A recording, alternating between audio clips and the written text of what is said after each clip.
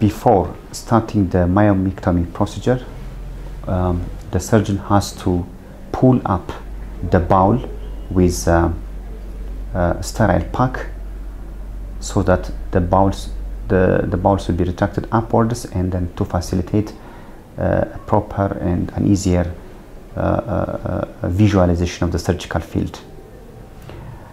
After proper preparation of retraction of the bowel and then insertion of better uh, self-retaining retractor to widen the surgical uh, field.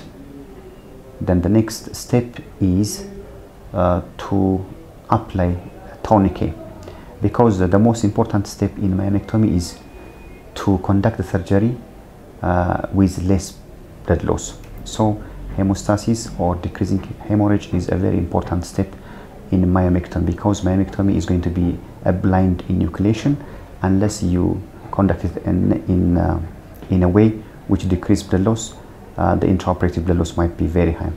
So to do that, uh, there are different techniques, but the common method that we use is to apply a tourniquet, which is uh, commonly using a number 8 catheter.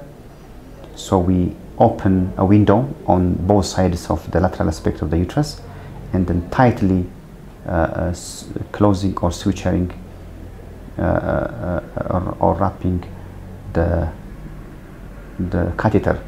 So that catheter is going to occlude, occlude the uterine arteries in both sides and then it will decrease the blood flow to the upper part of the uterus and thereby decrease the blood loss.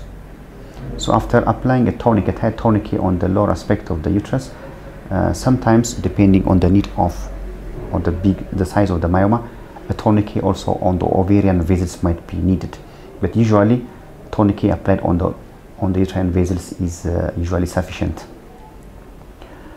Uh, currently also one can apply or inject a vasopressin which is a kind of drug which will decrease the blood loss to the uh, to the to the myoma to the myoma bed and then can conduct the surgery.